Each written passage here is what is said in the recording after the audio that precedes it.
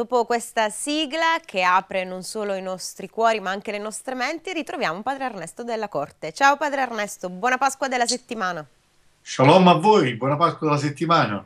Una sigla, una musica che ci apre davvero anche alla comprensione, no? In questa breve lezione che tu tieni ogni domenica per noi. Eh sì, quella sigla del venite e vedrete ha colpito molta gente, ma d'altra parte la parola non è qualcosa di archeologico, quasi un libro da, che è in una biblioteca che uno ogni tanto guarda, un vecchio album.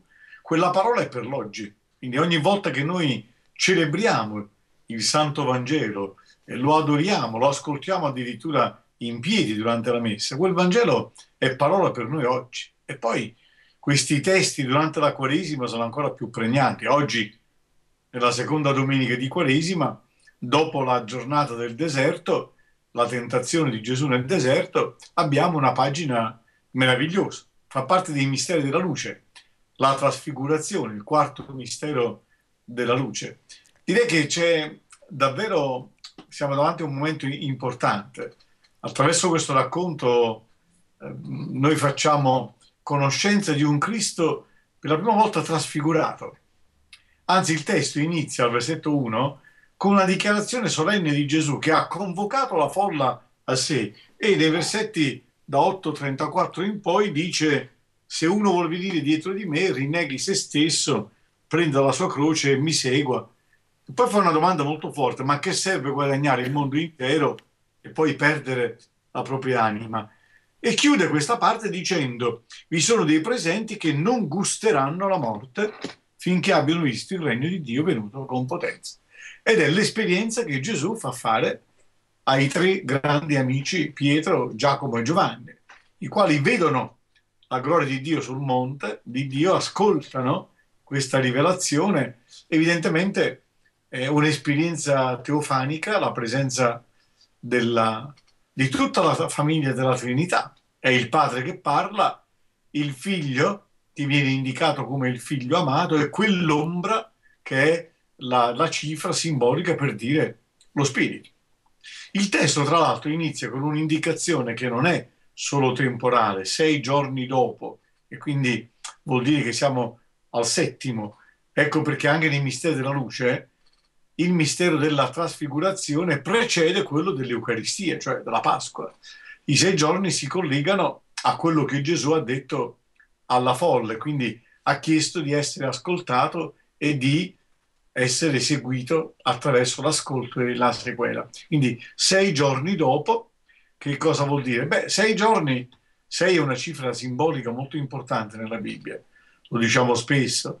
L'uomo è stato creato al sesto giorno, sei giorni, al sesto giorno viene data la rivelazione del Sinai, eh, in Giovanni si parla di sei giorni prima della Pasqua al capitolo, al capitolo 12.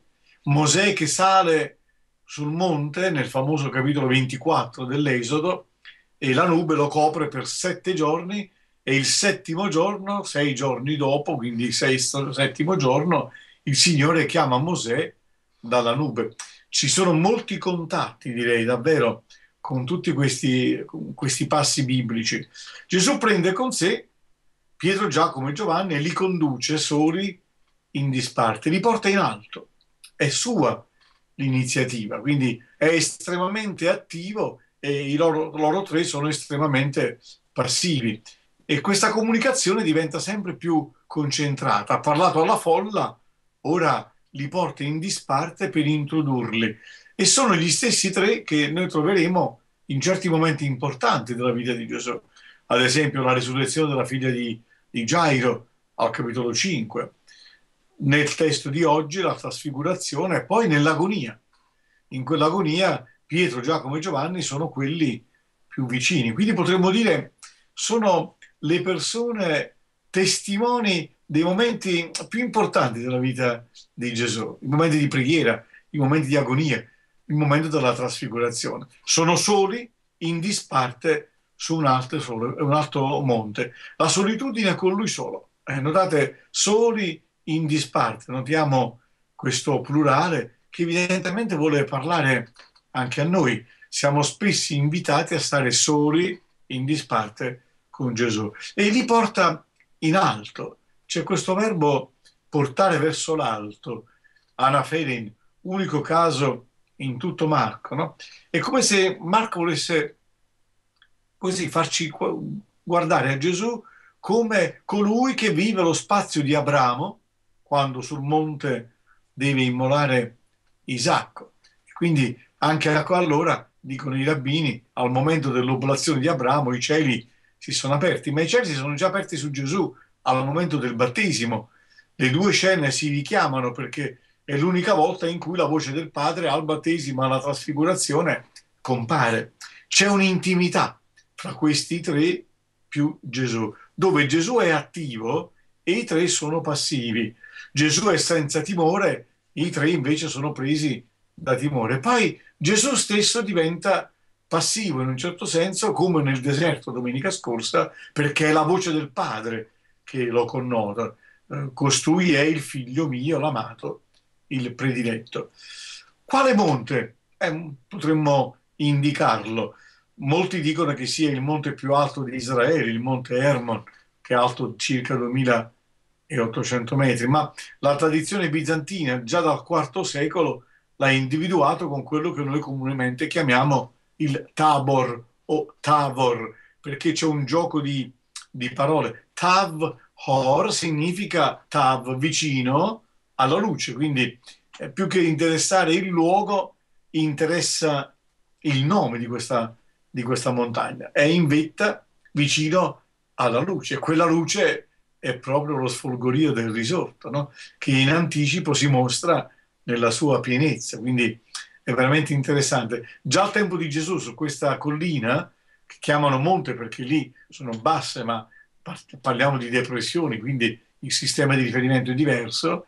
Già al tempo di Gesù, in vetta a questo monte Tabor, c'era una cinta muraria, c'era una fortezza, quindi evidentemente gli evangelisti sono interessati a questa etimologia vicino alla luce. Se ne parla anche nel secondo, nel secondo scritto di Pietro, la seconda lettera, in 1.18, no? quando si parla eravamo con lui sul santo monte. Poi ovviamente il monte in sé, vicino alla luce, è Cristo stesso.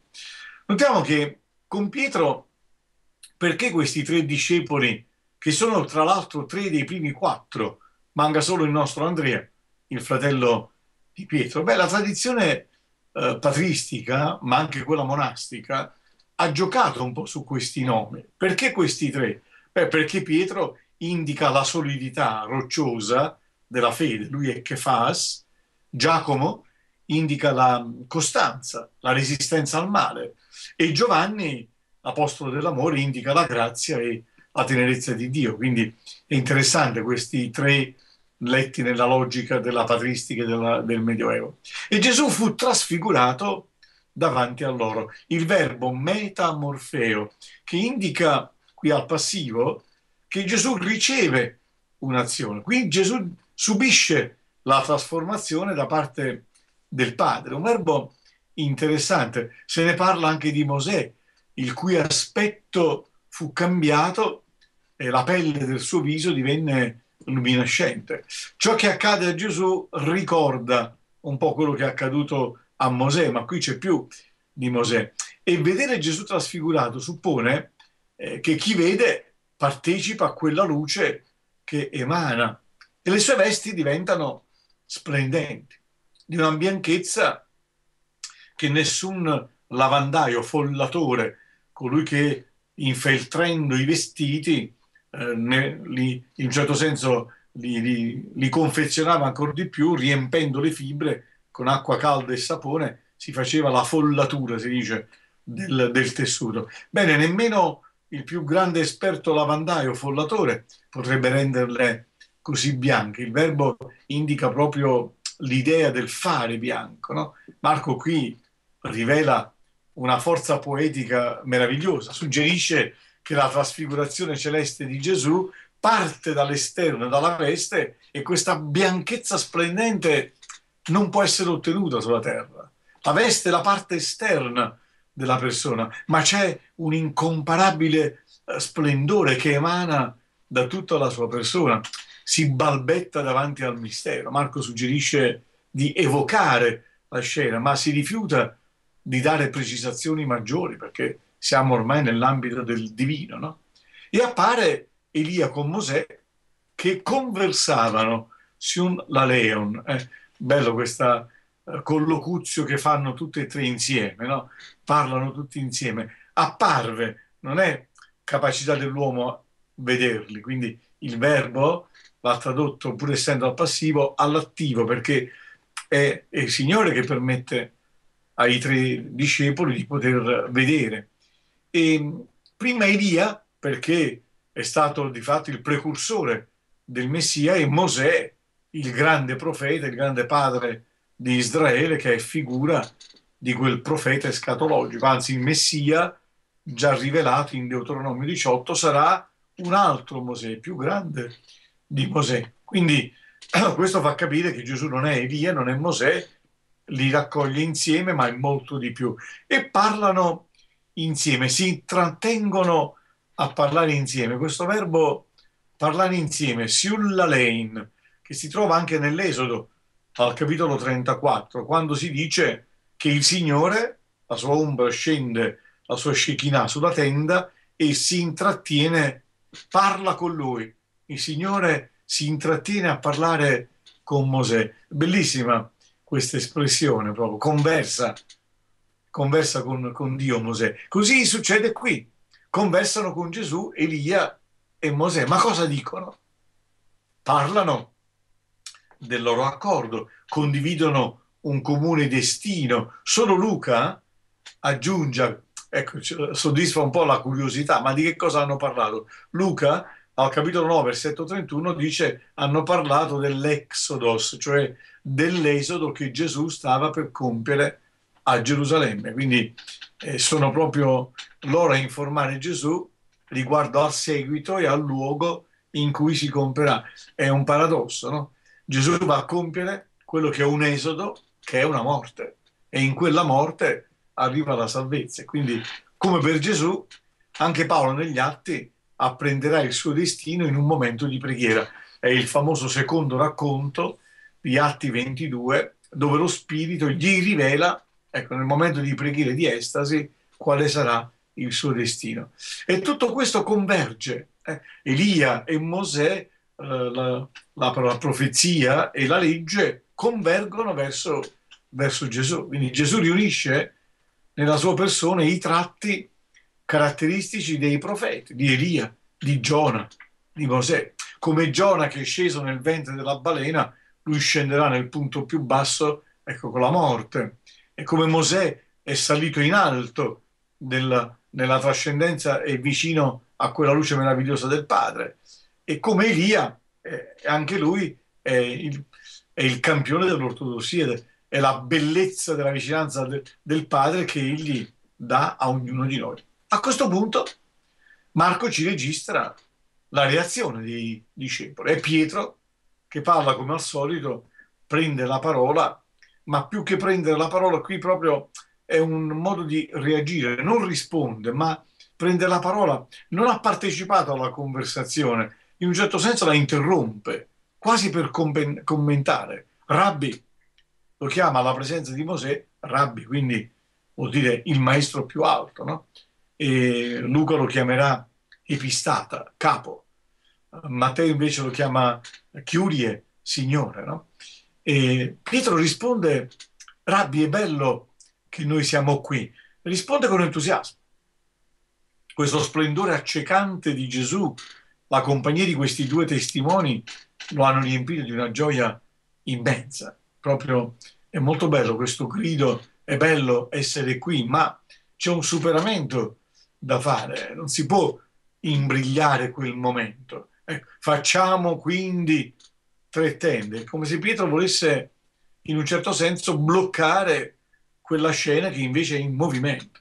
Vuole fare addirittura tre tende o tre capanne, le Sukkot, e una per Gesù, qui stabilisce un'altra gerarchia, una per Gesù, una per Mosè, una per Elia. Pietro vuole costruire una casa per ospitare la grandezza, per bloccare in un certo senso questo sfolgorio della trascendenza. Un po' come Davide che voleva costruire il Tempio a Dio, eh, ma non è possibile. Ecco perché Marco annota non sapeva che cosa dire perché erano spaventati, erano diventati pieni di paura.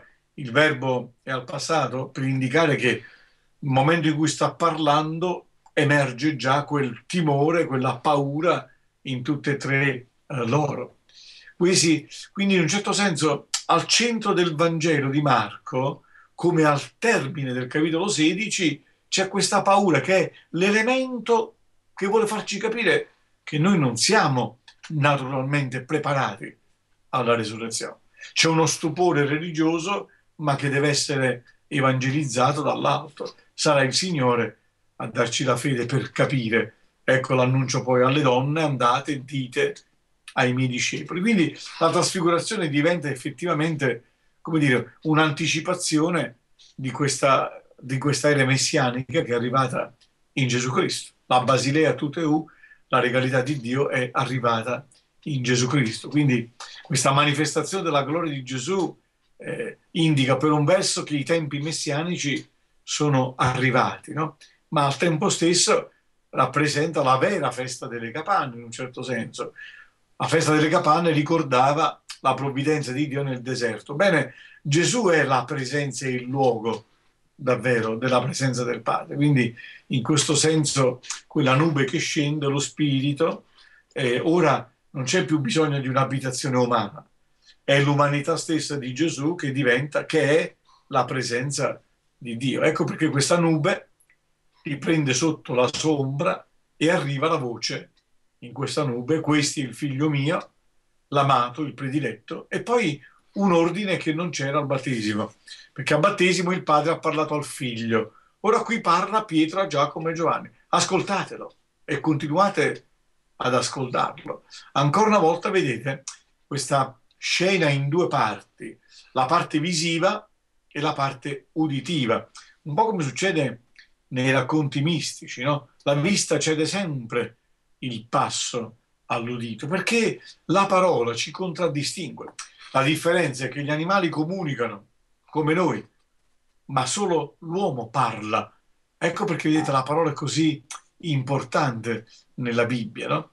Questa, questa nube, che è la presenza dello Spirito, da questa nube arriva la voce. La nube dice mette la tenda, mette l'ombra, epischiazzo, lo stesso verbo che sarà usato da Luca per indicare la forza dello Spirito Santo che scende su Maria, o nel testo bellissimo degli Atti del capitolo 5, quando Pietro passa, dove si appoggia la sua ombra, arriva addirittura la salvezza, è la presenza, la Shekinah, la presenza, la nube la manifestazione della presenza di Dio.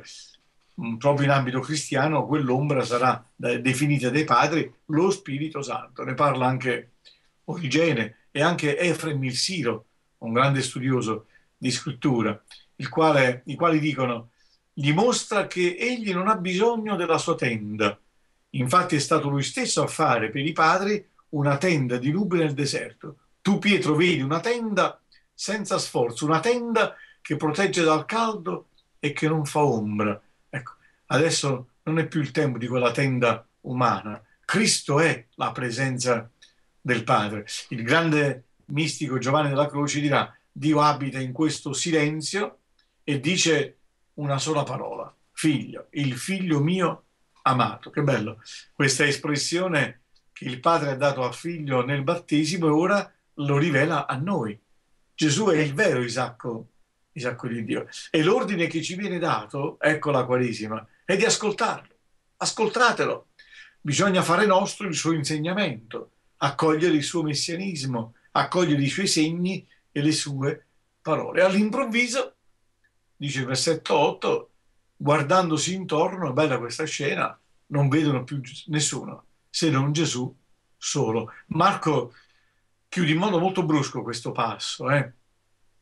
usa anche un avverbio strano e improvvisamente, in genere usa il, l'avverbio eutius, ma qui usa un altro, kai exapina, e improvvisamente, per il fatto che lo cambia questo avverbio, perché vuol dire che c'è un capovolgimento di una situazione che sorprende, no? improvvisamente dopo che si sono guardati intorno, non vedono nessun altro, se non Gesù solo con loro. Tutta la scena della trasfigurazione si concentra sul Gesù, su quell'apparenza umana, è il figlio dell'uomo. Eh, questa è la forza d'idea che i discepoli devono dare attenzione a Gesù. Non c'è più Mosè, non c'è più uh, Elia e loro sono con lui, essere con lui, un po' come durante la chiamata. Li chiamò perché stessero con lui, stare con lui, contemplare lui, accogliere il suo, il suo insegnamento. Ecco, chi, chi contempla il sole inevitabilmente vede luce dappertutto. Se contempli davvero Gesù che hai di fronte, da quel momento in poi la presenza di Gesù riempie il tuo sguardo e illumina tutto quello che tu, tu vedi. E poi l'ultima parte, gli ultimi due versetti, Marco ci annota che mentre scendono Gesù ordina loro di non dire nulla a nessuno se non dopo che il figlio dell'uomo fosse risorto. Quindi il fatto che Marco ci abbia scritto questa esperienza vuol dire che ci attesta anche la resurrezione dei morti, perché sono stati obbedienti i discepoli, ne hanno parlato solo dopo, quando dopo la resurrezione hanno capito, hanno fatto memoria di questa esperienza. Evidentemente questo racconto è un anticipo di quell'evento meraviglioso che fonda un po' tutto. E direi che il centro del Vangelo, il momento della trasfigurazione, è il momento in cui Gesù offre una garanzia per l'esito finale. La morte non sarà l'ultima parola. La trasfigurazione ci ricorda che quella umanità è traslucida e quell'umanità ha in sé quella divinità del figlio di Dio. Gesù, il Cristo, è vero Dio, è vero uomo. Allora, in questa seconda domenica di Quaresima, portiamo, facciamo nostro questo bellissimo verbo che viene dato da Gesù. Ascoltatelo, dice il padre del figlio, ascoltatelo e continuate ad ascoltarlo, perché il verbo ci viene dato eh, proprio con una sequenza di itineranza, una fede che deve essere continuamente alimentata guardando a Gesù, soprattutto ascoltandolo, perché non si tratta di avere una visione fisica, ma di accogliere il corpo e il sangue delle sante scritture, perché il corpo e il sangue di Cristo è proprio la sua parola, è proprio l'Eucaristia.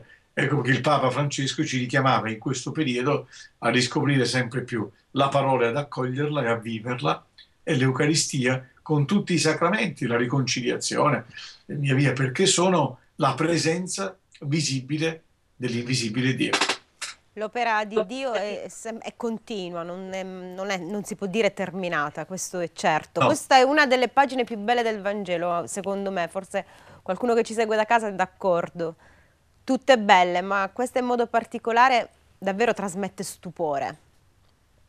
E penso anche che ci dia un'idea stupenda, perché quando avremo la possibilità, nella grazia che Dio ci, ci offrirà, di andare oltre, perché già oggi te, questo testo ci dice che nella preghiera, nella preghiera della parola, nel contatto intimo col Signore che avviene attraverso l'opera dello Spirito, nella forza della parola, noi possiamo già fare nostra, in un certo senso, tra virgolette, l'esperienza della Pasqua. Quando ogni cosa diventerà traslucida. Noi oggi guardiamo le cose con luci ed ombre, con apparenze, non sempre riusciamo a guardare la sostanza, ma in quel giorno i nostri occhi saranno trasformati e noi vedremo la bellezza di Dio in tutte le creature, in noi stessi. Lo contempleremo faccia a faccia, dice Paolo nella lettera ai Corinti. Per cui mi piace di questa immagine questo tra- essere traslucido.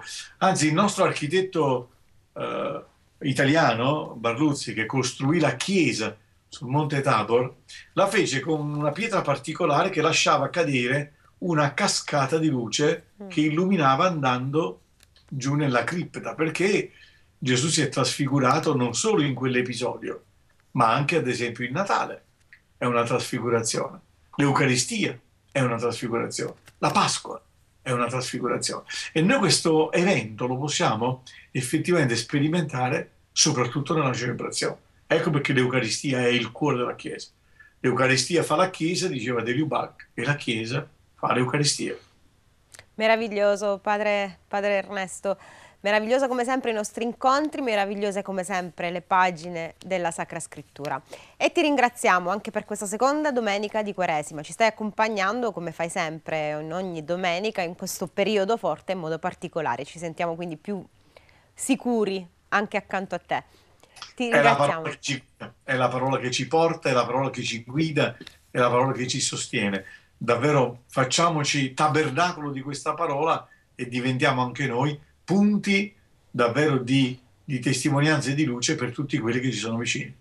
Il nostro punto sarà anche domenica prossima. Grazie di cuore Padre Ernesto e buona Grazie, Pasqua della buona settimana. Pasqua della settimana. Shalom. Shalom, shalom.